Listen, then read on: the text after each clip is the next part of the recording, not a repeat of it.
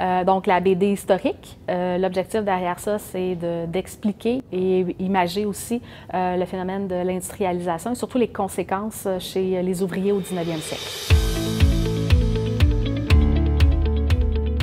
Ce projet-là, dans un premier temps, les élèves doivent faire une recherche, une recherche sur justement les conditions de vie des ouvriers. Dans un deuxième temps, doivent faire des choix d'images. Il faut que les images correspondent justement à la période historique étudiée.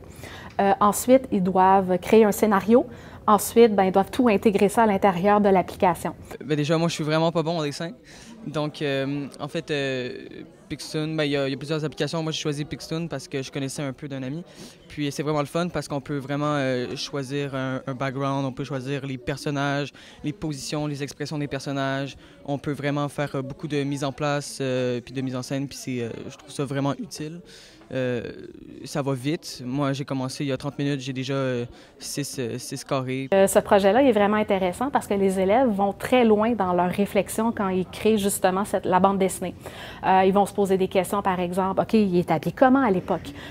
comment il vivait? OK, oui, c'était difficile, mais pourquoi c'était difficile? Donc, ils doivent me prouver à l'aide d'images et de textes que les conditions de vie étaient extrêmement difficiles. Eh ben, notre histoire, ben, c'est un jeune ben, qui, c'est sa fête, puis qui va comme, commencer dans le marché du travail.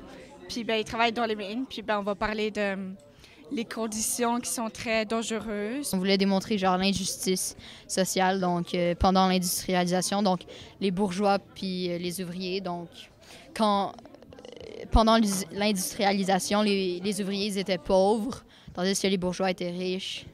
Vont même se questionner sur euh, les noms. Euh, quel nom on va donner? C'est un nom, euh, c'est-tu crédible pour la période historique? Donc, ce qui est le fun, c'est vraiment, ils vont beaucoup plus loin que juste apprendre justement que les conditions de vie étaient difficiles.